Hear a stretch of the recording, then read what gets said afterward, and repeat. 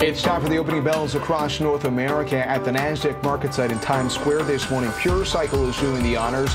An IPO story at the New York Stock Exchange, Tuya, and in downtown Toronto, the uh, virtual bell ringing ceremonies continue on this Thursday. Adcore, which operates an advertising management platform, on its move from the Venture Exchange to the TSX. It's time for the first 15.